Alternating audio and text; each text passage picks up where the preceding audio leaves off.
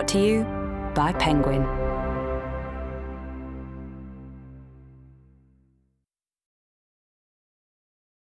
Christmas Wishes for the Railway Girls by Maisie Thomas.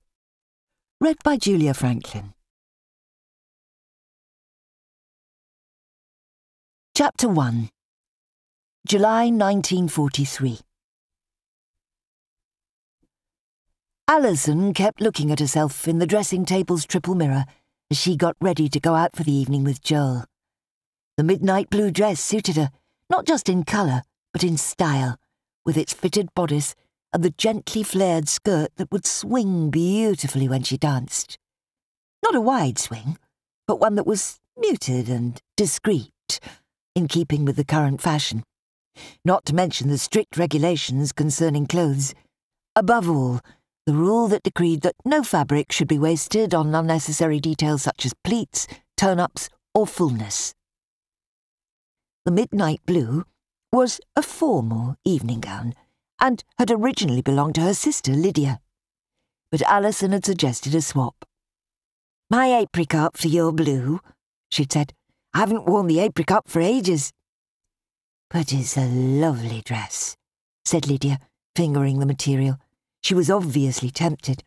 I know, but it has unpleasant associations, you might say. I last wore it on the night that Paul met Katie. I've never worn it since. Oh, Alison! Lydia lifted her hand from the apricot dress and laid it tenderly on Alison's arm. But it's not as though you haven't found happiness elsewhere. Joel adores you. I know, but I still have no desire to wear the dress I was wearing when my old boyfriend met the girl he later told me was the love of his life. A little shudder rippled through Alison's shoulders. Oh, the hope she had entertained on that fateful occasion. So, will you swap dresses? She asked Lydia in a bright and breezy voice. You wouldn't be superstitious about the apricot dress bringing bad luck. No, Lydia smiled. I've always admired it, actually. Hmm. Alison pressed her lips together, trying to look stern, when really she was smothering a smile. I seem to remember you admiring a lot of my clothes when we both lived at home. Yes, and helping yourself to them. That made Lydia laugh, and her blue eyes twinkled. It's what sisters are for. Now, Alison admired her reflection. Lydia's old midnight blue went well with her colouring. She had chosen the apricot because it was an unusual colour. But she could see now that it was more flattering to Lydia's fair hair than it had ever been to her own brown hair and eyes. Her gaze swept across the triple mirrors. There was a long mirror inset into one of the wardrobe doors, too. She took a moment to look with pleasure around the bedroom she'd recently moved into. To start with, when she'd come to live in the house in Wilton Close, she had been given what used to be the box room. A small room with a ceiling that sloped down to about four feet from the floor. There had been space for a narrow bed pushed into the corner, plus a cupboard and a chest of drawers. That might have sounded poky, but dear Mrs. Cooper who looked after them all so well, had made the room as comfortable as she could, keeping it spotless and popping sachets of dried lavender into the drawers, as well as making sure there was a hot water bottle between the sheets all through the colder months. After Mabel's wedding at the end of June, Alison had moved into the big bedroom with Margaret, taking over what had been Mabel's share of the space. Dear Mabel had been an important part of their friendship group. But now that she was married to Harry, she'd moved down south to live with him near Bomber Command. Mr. and Mrs. Morgan, whose house this was, and who had decamped to North Wales for the duration, had slept in single beds, each with its own little bedside cupboard. The girls shared the dressing table and the wardrobe. There was even a fireplace, though fuel shortages meant that they only had the coal for the downstairs fires these days, and precious little at that. Thank goodness for summertime. Last winter had been hard, and the coming winter wouldn't be any easier. In fact, it was certain to be worse. Alison had never met the Morgans, but she was grateful to them for going to North Wales. Because of that, Cordelia had been able to recommend Mrs. Cooper to them as a housekeeper who would take good care of the house in their absence and not kick up a fuss about being required to hand it back to them after the war. As well as looking after her lodgers, Mrs. Cooper ran a little cleaning business called Magic Mop. It was possible for her to be out of the house, earning a bit of money, partly because Mrs. Grayson, another lodger, had taken over the kitchen. Mrs. Grayson, though never formally trained, was an expert cook, and she found great satisfaction in providing tasty, nutritious meals for the household.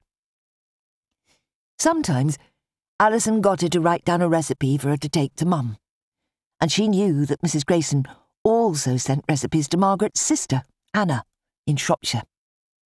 Now, she was also sending recipes to Mabel. Satisfied that the midnight blue dress suited her, and feeling far lovelier than she'd ever felt in the apricot, Alison turned her attention to her dark hair.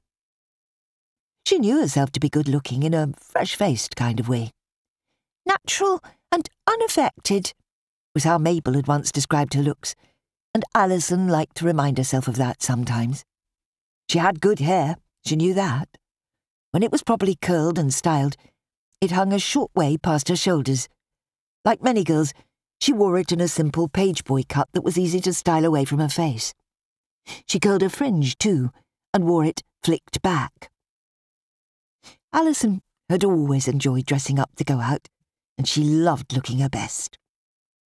When she'd been Paul's girlfriend, she'd wanted to look her best for him. It was different with Joel. Everything was different with Joel. Yes, she wanted to look pretty for him, but she wanted to look her best for herself, too. She had submerged herself in being Paul's other half. Much as she loved Joel, she would never submerge herself like that again. Her pulse quickened at the thought of being with him very soon.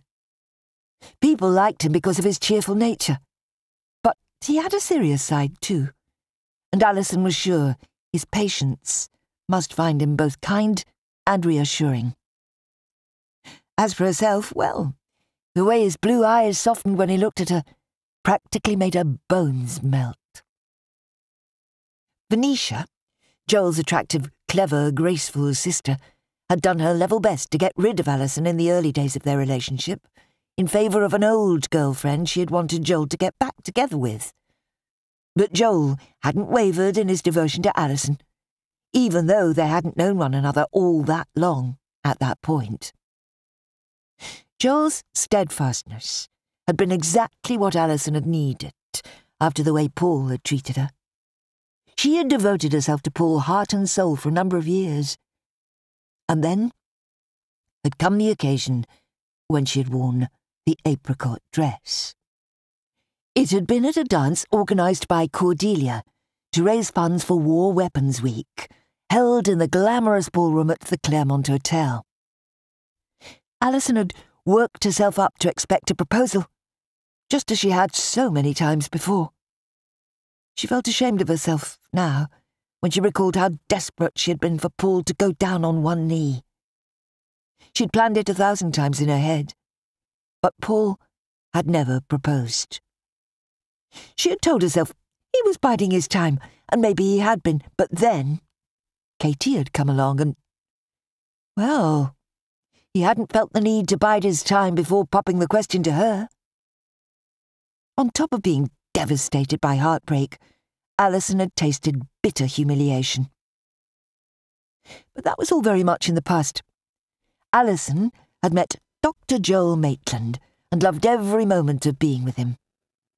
The heart that Paul had shattered had been pieced back together again, though it wasn't the same heart it used to be.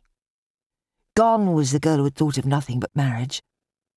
She was happier now with Joel than she had ever been with Paul. With him, all she'd ever thought about was getting a ring on her finger and buying fish knives and a cut glass fruit bowl, ready for when they got married. She'd been all set to live with Paul's mother, the two Mrs. Dunnaways doting on the man they both loved. Alison had built up to every anticipated proposal with anxious elation, and then felt crushed every time it had failed to materialize. That had been the old Alison. The new Alison could only shake her head. We hope you enjoyed this preview. To continue listening to this audiobook on Google Play Books, use the link in the video description.